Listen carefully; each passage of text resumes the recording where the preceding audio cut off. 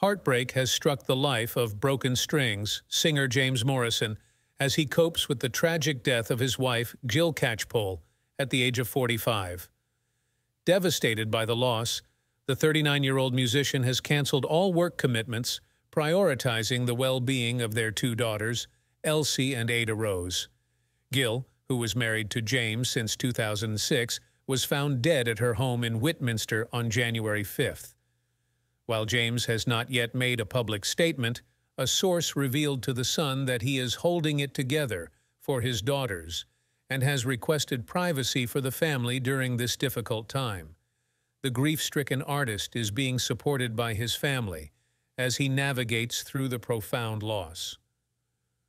Gloucestershire police confirmed that the death is not considered suspicious, stating, the death is being treated as non-suspicious at this time.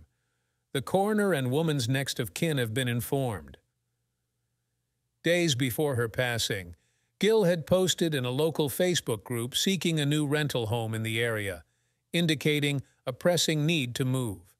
Additionally, she had changed her relationship status to single and was not wearing her wedding ring. James Morrison and Gill first crossed paths when she moved into his mother's house as a lodger. In an earlier interview, the singer fondly recalled trying to impress Gill by serenading her with songs from Stevie Wonder's Key of Life album. Their love story evolved from there, overcoming challenges such as the difficulties of being apart due to James's demanding career. The couple's journey was marked by ups and downs, with James admitting to instances where their relationship was strained due to his frequent travels.